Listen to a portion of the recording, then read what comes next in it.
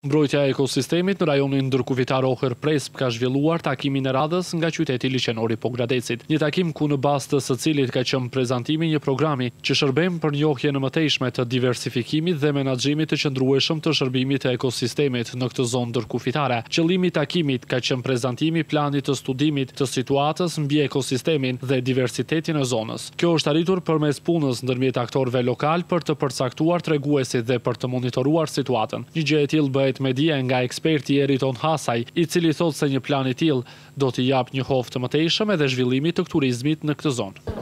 Qëllimi i takimit të sotëm është prezantimi i planit. Plani është realizuar mas janë realizuar disa etapa më të përparshme, janë bërë disa studime të situatës aktuale mbi ekosistemin dhe biodiversitetin e zonës.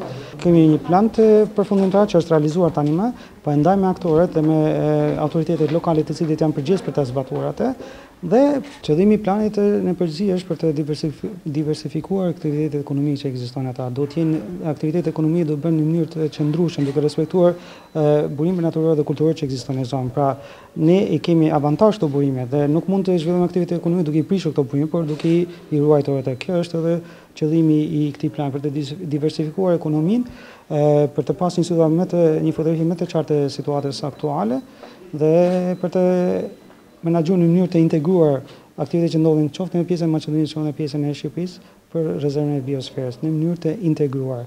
Ky plan pune për sa i përket studimit mbi ekosistemin do të jetë gjithashtu një shërbim i rëndësishëm edhe për pushtetin lokal, si për planin afatshkurtër ashtu edhe për atë afatmesëm, sidomos pas rivlerësimit që UNESCO do t'i bëjë situatës.